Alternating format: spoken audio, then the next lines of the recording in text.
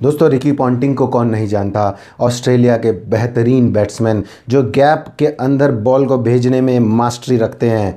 सत्तर centuries test और one day की मिलाकर उनके नाम हैं और तेरह हज़ार रन स्कोर करने वाले कुछ खिलाड़ियों में से एक शख्स ने उनसे पूछा कि, रिकी पॉन्टिंग साहब, आप इस गैप के अंदर बॉल को किस तरीके से मार देते हैं और खिलाड़ी इस तरीके से नहीं कर पाते? जिस तरीके से आप गैप ढूंढ लेते हैं। इन्होंने बड़ी शानदार तरीके से जवाब दिया कि, जब एक खिलाड़ी फ़ील्ड पे जाता है तो वो फ़ील्ड को असेस करता है, वो फील्डर्स देखता है। ऐसे ही मैं भी करता हूँ।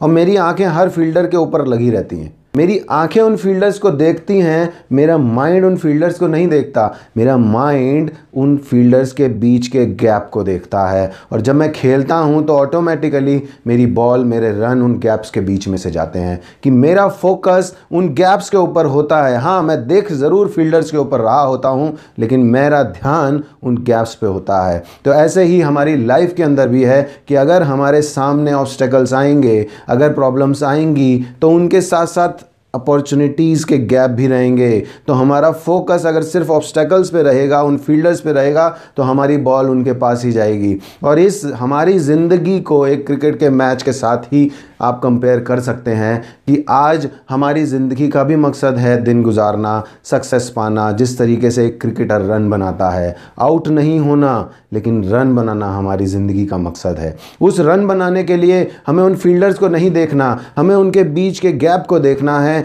उन अपॉर्चुनिटीज़ को देखना है, वो ऑब्स्टेकल्स के बीच में जो अपॉर्चुनिटीज़ हैं उनको देखना है। यही है रिकी पॉन्टिंग की बात की जो सीख कि हमारा फोकस अगर ऑब्स्टेकल्स पे रहेगा, उन अपॉर्चुनिटीज़ पे नहीं रहेगा तो हमारे को वो अपॉर्चुनिटीज़ नहीं मिलेगी। हमारा फोकस उस रिकी पॉन्टिंग की सोच की तरह होना चाहिए कि जो गैप्स के ऊपर ध्यान रखता है और हम जब इस चीज़ पे ध्यान रखेंगे तो हम रन पे रन बनाते चले जाएँगे उसी रिकी पॉन्टिंग की तरह। इसके साथ साथ एक विकेट कीपर है वेस्ट इंडीज़ का, वो प्रैक्टिस के दौरान उसकी एक उंगली टूट गई। कैच पकड़ रहा था, बॉल लगी और उंगली टूट वो जाके अपने चेंजिंग रूम में बैठ गया और रोने लग गया कि मेरी उंगली कैसे टूट गई। तो उसके कोच ने कहा कि एक उंगली टूटी है तेरे पास अभी नौ उंगलियाँ सही बाकी हैं। उस नौ उंगलियों से खींच, एक उंगली पे ध्यान मत दे।